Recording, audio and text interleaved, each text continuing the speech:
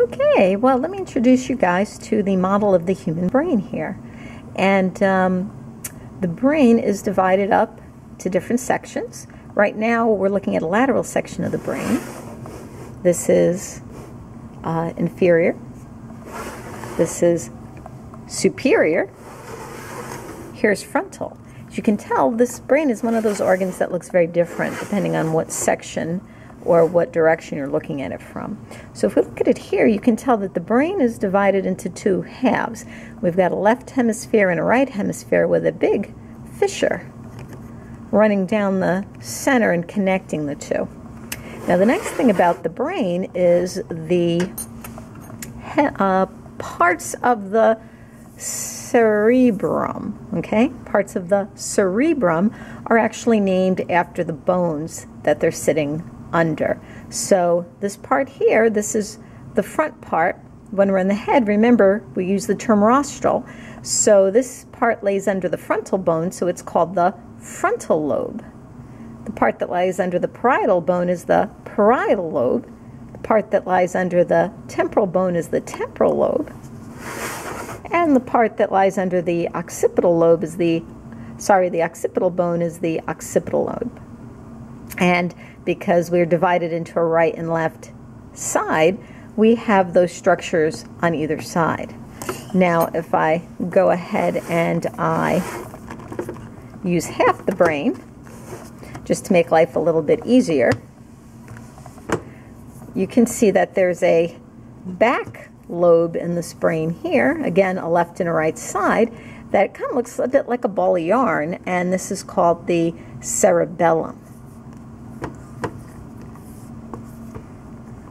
So if we take a look at the cut surface at the brain, you can see over here, you can see the cut surface of your frontal hemisphere, or frontal lobe, I should say.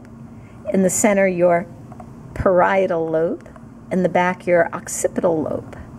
Now, things that you can only see on the sagittal or mid-sagittal section like we have here, this structure here is the uh, corpus callosum.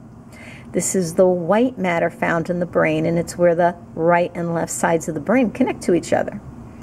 This structure over here in the real brain would actually be a space, and this is the lateral ventricle and it would be filled with cerebral spinal fluid. This area over here is the fornix. Oh, I missed an area. This rather large structure right here on the interior is referred to as the cingulate gyri. Cingulate with a C, C I N G U L A T E. Remember, review here, uh, gyrus is a fold a convolution in the brain. Uh, sulcus is a shallow groove. Okay, so plural would be gyri, and these gyri exist to increase surface area. And the sulci, plural of sulcus, exist because the gyri exist. And again, increase surface area, make more room for those neurons we need for deep thinking. All right, going back to our cut surface here, uh, once we get under the level of the fornix, we're actually into the part of the brain called the thalamus. And the thalamus, to me, always kind of looked a little bit like the shell of a turtle, like a sea turtle. And uh, let me get a little close up for you. There we go. So our thalamus would be over here. The head of the turtle, right over here, is actually the pineal gland. This part of the turtle always reminded me of the rear flipper. This is the hypothalamus, meaning under the thalamus.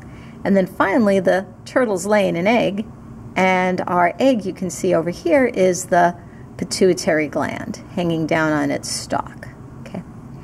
Uh, this area here, this is the cut surface of the cerebellum. looks like very beautiful, almost like a tree on the inside. Maybe that's why people have such references to the tree of life.